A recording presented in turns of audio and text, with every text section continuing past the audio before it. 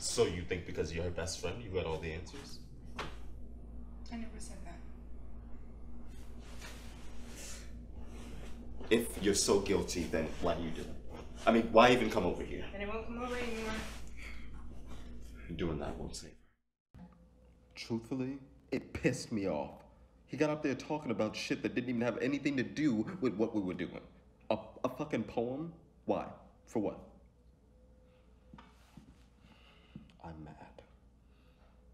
As you can see for the location, we will be in a living room. That's right, I said it, the location is a living room. I have a question about that.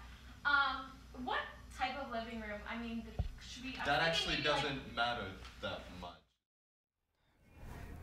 If it makes you feel any better, things aren't going so well right now for me either. I'm 25 with a degree in business administration, and I have no idea what to do with it. So at, at least you know your passion. What's stopping you? The delivery service isn't really my calling. Really, I always cared about kids. I kind of wanted to open my own tutoring business or, or a daycare.